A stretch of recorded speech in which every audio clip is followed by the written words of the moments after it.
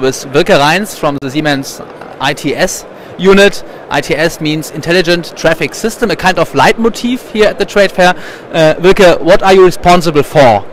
Um, I'm responsible for R&D and product management. So actually you can say everything which you see um, during the during your um, drive to the work, um, like intersections or so, is developed by our company or parts of it at least, which you can see here also um, on the exhibition on the level. We have a lot of, I would say, very very promising products, new products. So all this area around, I would say, digitalization. So uh, especially when it comes to uh, Car2X, very nice, very cool technology will change a lot. Um, if you ask me what's my personal favorite, I would say it's one watt technology. What is one watt? Yeah, okay, okay, sorry for that. Um, one watt is actually one of our, um, um, as you may know, all the traffic lights which you see when you drive through the road um, are you're consuming a lot of energy. So our aim is it to reduce the consumption so that we um, save energy and therefore we develop this one watt technology. So one watt stands for the consumption. Two years to develop that kind of technology for the signal heads. Two years to develop red lights. That's not very ambitious, I think, right? Yeah. Okay. Fair point. It's red, amber, and green. Um, but what is really important to understand is we are developing traffic lights, right? And that is the signal head which you have on the road, which you can see. And we all want to drive have here a safety issue. So it is not possible just to place a bulb or it uh, since you have to prove that the system is really safe because you don't want to have a situation where you suddenly have green again. Time and it's very very very um, demanding when it comes to the development.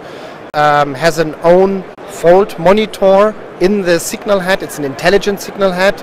Um, and that took us really two years to develop that. It is quite quite technical but why is it your personal highlight? Yeah, the thing is with the personal highlight, I mean, as I said, we have a lot of innovations here on the booth. But what me really drives for a department, for a development, where you can a bit, I would say, change the world, where you have a deeper sense, right?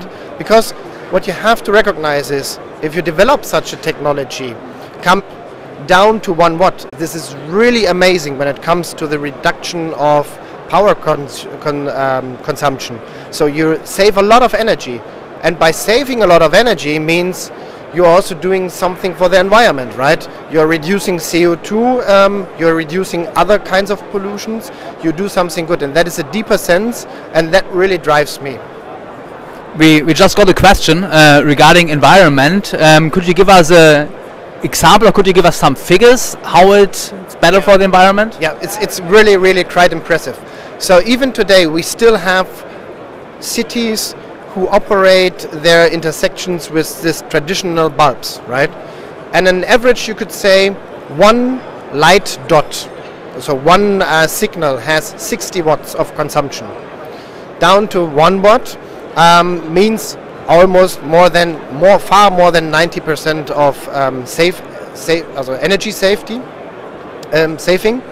And to give you an example, um, you could replace, or if you take a, take Berlin for instance, if you would if you install one watt technology in Berlin all overall, you could um, save really so so much so much energy that you can um, How did you, you, think about a comparison, right? Yeah, uh, I'm, I'm, just thinking about a comparison uh, with uh, uh woods, uh, with trees and and uh, and so, and that is really a big um, saving. It's about twenty thousand trees you could save. Okay. Big figure. Um, I think it's, it's interesting to know. Thanks a lot for your time, Wilke. I wish you a good fair. We are here until Friday, so if anybody wants to join us, wants to come here to Intertraffic, uh, we have a lot of different exhibits here. We have the trade fair, we have the traffic lights here. Come around, uh, join us in Hall 11. We're looking forward to meeting you.